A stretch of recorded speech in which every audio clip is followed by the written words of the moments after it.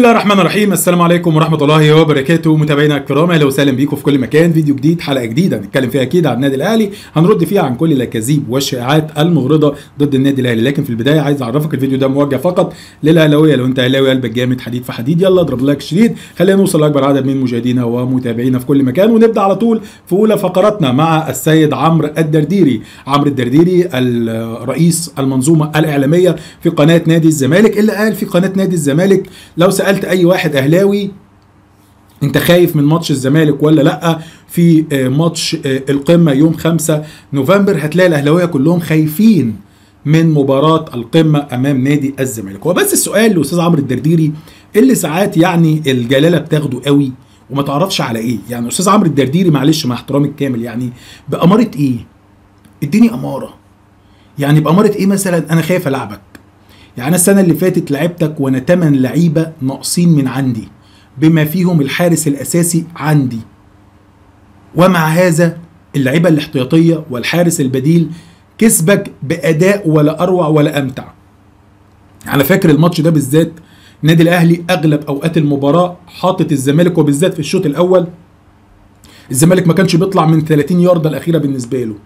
الزمالك كان محطوط عليه بشكل كامل طوال الشوط الأول أمام النادي الأهلي ولولا دلع بعض اللاعبين كان ممكن الشوط الأول يخلص ثلاثة وأربعة وزي ما أنت عايز تقول قول لأن الأهلي كان مسيطر بالطول والعرض في هذه المباراة. فأنا عايز أعرف أمارة إيه يا أستاذ عمرو يا درديري؟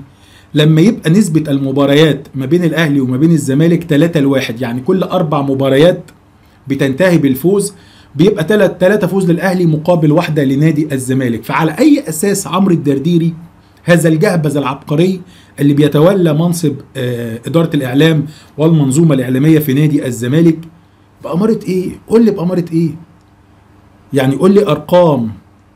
كلمني بأرقام ما تكلمنيش بالحب. بالحب والانتماءات والأهواء أنت ممكن تخلي الزمالك يلعب في الدوري الأسباني. ممكن تخلي الزمالك يتصدر بطولة دوري أبطال أوروبا ويتصدر دوري ما وراء المحيطات. كلمني بالأرقام عشان نحترم عقول بعض. نحاول نحترم يعني انت ما, انت ما بتكلمش جمهور ناديك بس انت بتكلم كل الجماهير. بأمارة إيه؟ الزمالك الأهلي يخاف منه. بس. آخر بطولة قارية انت ما بتكسبنيش أصلا في, في بطولات القارة. يعني دوري أبطال أفريقيا أو حتى الاتحاد الأفريقي لما بلعبك في أي أي بطولة خارج مصر بكسبك فيها. بكسبك فيها. كل المباريات اكتساح للنادي الأهلي. فبأمارة إيه؟ الثقة اللي جابها الأستاذ عمرو الدرديري وجابها منين؟ ما تعرفش. طيب. تعال نروح ل واحد من اللاعبين القدامى مش قدامى قوي يعني بقاله بتاع 10 سنين مبطل كورة. وهو آه واحد من اللي لعيبه النادي الأهلي يعني اسأل بس عليه متعب. أو قول أو فكروا بمتعب. لما يتكلم فكروا بمتعب. هيفتكر كم النجيله اللي كان بيسفها في الملعب من عماد متعب. عمرو الصفني. عمرو الصفني؟ آه أنا عارف أنا بقول إيه. عمرو الصفني اللي كان فلافيو بيخليه يشق هدومه. من كتر اللي كان بيعمله فلافيو ومتعب فيه في المباريات وبالذات في مباريات القمة أو مباريات الأهلي والمصري أو مباريات الأهلي عموما قدام هذا الصفني كان الأهلي دايما بيسففوا التراب. بيسف التراب بمعنى كلمة بيسف التراب بالذات من عماد متعب. فلو عايز تخوفه قول له هجيب لك متعب. الصفني بعد ما اختفى فترة ومع عودة مرتضى منصور مرة أخرى الصفني اختفى لما الأهلي هدد إن أي حد هيتطاول أو يتجاوز في حق النادي الأهلي النادي الأهلي هيتحرك معاه بالقانون وهيعاقبه بالقانون. فاختفى الصفني وخد فترة كده بتاعت بقاله ثلاث شهور ولا شهرين ما جبناش سيرته لأنه ما بقاش بيظهر. نزل تحت الأرض وقال لك اردم عليا شوية لحد ما الموجة بتاعت النادي الأهلي تعدي. مع عودة مرتضى منصور رئيس نادي الزمالك بدأ الصفن يخرج للنور عشان يرجع تاني وينضم لقناة نادي الزمالك. قال لك إيه بقى؟ طبعا مع رجوع الأسد لبيته المستشار مرتضى منصور هو اللي صنع الزمالك الجديد. هو اللي جاب كل اللعيبة اللي موجودة دلوقتي ومن غيره القيد موقوف. بستغرب من بعض الزملكاوية اللي بيقولوا إن في استقرار. استقرار إيه؟ وإنت موقوف من القيد وإنت مش عارف تجيب لعيب جديد. الزمالك عايش بصفقات المستشار مرتضى منصور. أعتقد البوست ده أو التويتة دي يا عمرو ما أنت راجل عمرو. يعني أنا أقول لك أنت مالكش أنت غير أنت راجل عمرو. ده واحد من المطبلاتية أعزائي المشاهدين آه السابقين يعني. فشكله كده بيمهد لعودته لقناة نادي الزمالك عن طريق بعض التطبيل وبعض التفخيم في رئيس نادي الزمالك السابق. طيب. آه، في قناة نادي الزمالك بيقدم لنا وجبة من الضحك وجبة من السرور والسعادة. يعني يا جماعة كون إن أنتوا تشوفوا شيكابالا أحسن واحد في التاريخ ده حاجة ترجع لكم. معلش حاجة ترجع لك. ممكن تكون انت ضارب شوية بليلة زيادة فمأثرة على دماغك فمش مشكلة. لكن انك تقول شيكابالا أحسن من محمد صلاح كمان لا. انت كده هبت معاك على الآخر. انت كده مش مطلوب منك غير ان انت تعمل غسيل معدة وتعمل حاجة ترجع لك الذاكرة أو تفوقك شوية من اللي انت فيه. تطلع البليلة اللي طلعت على دماغك دي لأن انت كده بتستعبط. تعالى كده نسمع واحد طلع على قناة نادي الزمالك قال لك شيكابالا وبيتكلم بكل ثقة. المشكلة إنه بيتكلم بكل ثقة قال لك شيكابالا أحسن من محمد صلاح. مش أحسن لاعب في مصر بس لا ده أحسن من محمد صلاح كمان. وتخطى محمد صلاح وموهبته أحسن من محمد صلاح. تعال نسمع كده الأستاذ. شيكابالا محمد صلاح؟ لا شيكابالا. آه. على طول. كمهارة. آه. ككل حاجة. مفيش مقارنة. مفيش مقارنة. مقارنة إيه؟ عظيم. خد بالك هتتحاسب. هتحاسب. مقارنة إيه يا بيه؟ هداف الدوري الإنجليزي وثالث دعوة. مرة مش دعوة. أنا شيكابالا ممكن يكون أثر في حاجة في في حق نفسه. إيه، الناس اثرت لكن لما تيجي شيكابالا الناس قصرت. والله أنت ما قصرت. عزيزي المشاهد الأهلاوي المحترم عايز أقول لك حاجة. في ناس بتبقى عارفة من أين تؤكل الكتف. عايز تكسب جمهور الزمالك في صفك؟ عايز تطلع في قناة الزمالك؟ قدامك حاجة من اتنين. يا تطلع تشتم في النادي الأهلي وتهاجم النادي الأهلي وتشتم في الخطيب وفي جمهور الأهلي وتتريق وتقلل من بطولات الأهلي وبطولات الأهلي كلها حرام وال- والفيلم ده كله ده خطوة. أو خطوة تانية إنك ممكن تطلع تطبل وتقول شيكابالا أعظم لاعب جابته المجرة. مش مصر لأ مصر مين؟ لأ المجرة كلها مجرة درب التبانة كلها ما جابتش لاعب بقيمة وإمكانيات شيكابالا. فالأستاذ أحمد الخضري وصل لم- لمرحلة من مراحل الثقة في الوعي والإدراك بتاعه وفي عقله الباطن كمان إن لأ ده شيكابالا ده مش تخطى بس محمد صلاح مهاريا لا ده هو متخطش صلاح ده في أي حاجة. يعني البعض كان يقول لك الأول إيه آه، صلاح بيتميز بالسرعة. فشيكابالا مش سريع. لا هو شايف إن شيكابالا أسرع من صلاح أمهر من صلاح آه، مش عارف إيه صلاح آه، تاريخه أحسن من صلاح. هو كل حاجة زي الفل. فالأستاذ أحمد عارف هو بيعمل إيه. اوعى تفتكر إن أحمد الخضري مش فاهم ولا أحمد الخضري بيتكلم كلام أهبل. لا أحمد الخضري عارف هو بيوجه كلامه لمين. بيوجه كلامه لمجموعة من البشر عشان يقولوا هاتوا لنا أحمد الخضري ده تاني وتالت ورابع في قناة نادي آه، الزمالك. فاستاذ أحمد الخضري شكرا على المعلومة الجميلة اللي قدمتها لنا إن شيكابالا أحسن من محمد صلاح في كل حاجة كل حاجة كل حاجة. طب وجهة نظرك وتحترم برضو مهما كان. طيب نفسي أفهم نفسي أفهم الأستاذ آه، حسام المندوه ولا حسين المندوه المندوه حسيني آه، بيقول لك آه، آه، لعيبة الزمالك في الموسم الحالي أقوى من لعيبة النادي الأهلي بكتير. بكتير. طيب. افتكر بس إن الأستاذ حسام المندوه بيلف على القنوات كلها وبيقول الجملة دي. الزمالك فريق أقوى من النادي الأهلي بكتير. ليه بقول لك كده؟ عشان لما يجي الزمالك يخسر بطولة الدوري أو يخسر بطولة أفريقيا هتلاقي هو هو والله هو هو أستاذ حسام المندوب الراجل المحترم هيطلع يقول لك إيه؟ أنا بقول لكل جماهير نادي الزمالك أنتوا شايفين الوضع عامل إزاي؟ مفيش قيد. لعيبة وقعت منك الفريق كله وقع.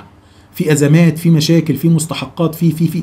طب يا أستاذ حسام أنت مش قلت في بداية الموسم إحنا أقوى فريق في مصر والنادي الأهلي ده إحنا أقوى منه مليون مرة؟ طب ما كسبتش ليه الدوري؟ يقول لك أصل كان في وفي وفي وفي وفي وتبدأ بقى الحجج والأعذار والمبررات الواهية اللي بيحاولوا يقنعوا نفسهم بيها. طيب. معين الشعباني في رده على خالد الغندور بخصوص تفويت نادي الترجي التونسي مباراته أمام نادي المولودية الجزائر لحد النهارده وهنفضل لسنين قدام سيظل مباراة الترجي والمولودية محفورة في كل أذهان وذاكرة الزملكاوية. الزملكاوية هيفضلوا فاكرين إن الترجي فوت ماتش المولودية والترجي تسبب في خسارة نادي الزمالك لبطولة دوري أبطال أفريقيا وخروجه من الباب الضيق في بطولة دوري الأبطال. كان من ضمن الاتهامات اتهامات خالد الغندور لنادي الترجي إن الترجي كان واضح إنه مفوت وإن حتى يومها التر... آه، خالد الغندور قال لك ربنا مش هيسيب حق الزمالك. ربنا ما بيرضاش بالظلم. والترجي والمولودية هيطلعوا. ولما طلع الترجي والمولودية طلع فرح قوي خالد غندور قال لك مش قلت لكم؟ مش قلت لكم زملكاوية؟ أهو. لأن دول مفوتتين. فطلع معين الشعباني رد على خالد غندور قال لك إيه بقى؟ قال لك لو الزمالك كان مكان الترجي كان هيلعب بنفس الشكل قدام المولودية. يعني كان هيفوت قال لك آه. كنا نملك خمس لاعبين مهددين وعندنا مباراة في الدوري بعد أيام قليلة. لعبنا بالتشكيل لعبنا بالتشكيل الأساسي كان هيبقى انتحار في هذه المباراة. يعني الراجل بيقول لك أنا لعبت وفقا لمكاسبي أنا. ماليش علاقة بالزمالك. لو الزمالك كان مكاني كان برضه هيعمل نفس الأمر لأن كان عندي خمس لاعبين مهددين بالإيقاف في المباراة القادمة في دوري الأبطال وكان عندي مباراة قادمة مهمة في بطولة الدوري فقلت أريح اللعيبة الأساسية اللي عندها انذارات من مباراة المولوديه والزمالك كان كده كده هيعمل اللي أنا عملته. طيب أحمد فتحي في ظهوره مع شادي محمد قال من يفكر بالمال وعقود زملائه لديه خلل في دماغه. ده الكابتن أحمد فتحي. حابب أقول لأحمد فتحي مع احترامي الكامل لشخصك من ضمن اللعيبة يا جماعة اللي كانت بتعمل مشاكل وتثير أزمات في تجديد عقودها مع النادي الأهلي في كل مرة كان أحمد فتحي. يعني ما افتكرش لاعب في النادي الأهلي زي أحمد فتحي كان بيعمل مشاكل في تجديد عقده. دايما دايما لما بيجي تجديد عقد أحمد فتحي بيطالب بمبالغ أعلى بكتير من اللي النادي الأهلي بيبقى حاططها له لحد ما بيوصل النادي الأهلي في اتفاق مع أحمد فتحي. أحمد فتحي في آخر مرة كان طلب إنه يتساوى بعلي معلول. كان بيطلب إنه يتساوى بعلي معلول في فريق النادي الأهلي مش بوليد سليمان. والنادي الأهلي رفض إنه يساويه بعلي معلول ووافق إن هو يكون مع وليد سليمان في نفس الفئة ونفس الراتب. لكن أحمد فتحي طالع علينا النهارده يقول لنا اللي بيفكر في الفلوس واللي بيحط عينه على زمايله وعقود زمايله ده إنسان عنده خلل في عقله وفي دماغه.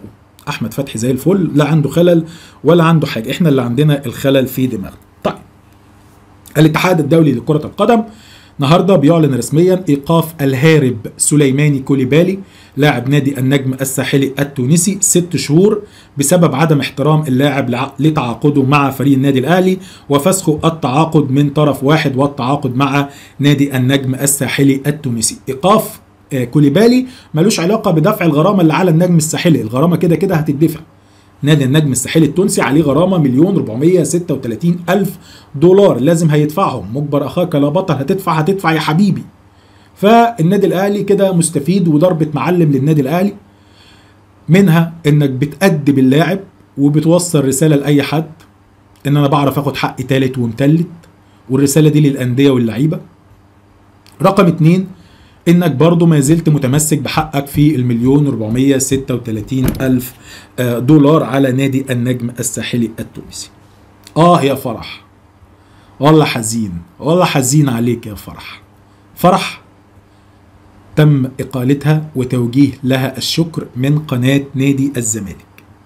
رسميا السيدة الفاضلة فرح علي تم إقالتها أو توجيه الشكر ليها من قناة نادي الزمالك وده بسبب ضعف المشاهدة على برامج الأخت فرح. الأخت فرح يعني كانت بتطالب في الفترة الأخيرة جماهير نادي الزمالك إن هم يتابعوا القناة ويتابعوا برنامجها ويتابعوا ويتابعوا ولكن فشلت كل المحاولات اللي كانت بتحولها فرح لإنقاذ ما يمكن إنقاذه. أعتقد إن قناة نادي الزمالك بتعاني قناة نادي الزمالك بتعاني كتير جدا بعد رحيل مرتضى منصور. المداخلات بتاعته هي اللي كانت بتعمل آه ريتش ومشاهدات عالية. لكن بعد غياب مرتضى منصور داخلين على سنة أعتقد إن القناه مشاهداتها نزلت كتير عن ذي قبل ما نتمنى طبعا الف... ال...